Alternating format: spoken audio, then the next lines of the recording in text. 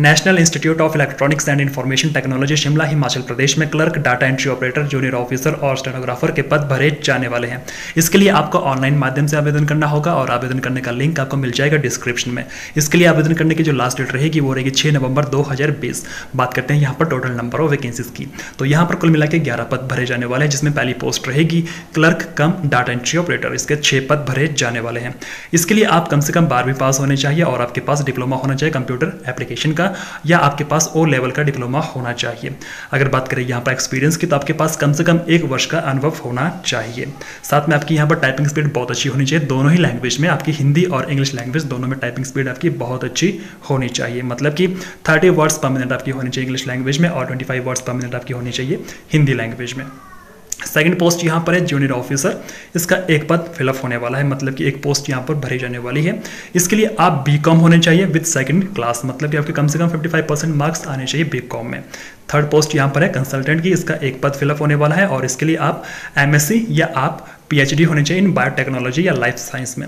इसके लिए आपके पास कम से कम चार वर्ष का वर्क एक्सपीरियंस भी होना चाहिए। बात करते हैं यहाँ पर नेक्स्ट पोस्ट की। नेक्स्ट पोस्ट यहाँ पर रहेगी प्रोजेक्ट मैनेजर की। इसका एक पद फिलअप होने वाला है और इसके लिए आप बीटेक होने चाहिए और कम से कम आपके पास एक वर्ष का अनुभव होना चाहिए इन प्रोजेक्ट मैनेजमेंट में।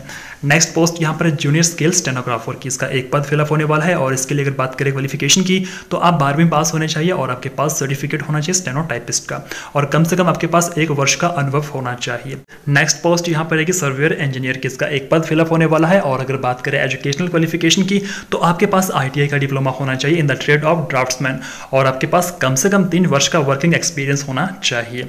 बात करते हैं यहाँ पर कि आपको कैसे इसके लिए आवेदन करना होगा। देखिए, आवेदन करने से पहले आपको यहाँ पर one thousand rupees application fees deposit करनी होगी। फ़ीस के डिपॉजिट होने के बाद आप यहाँ पर आवेदन कर सकते हैं।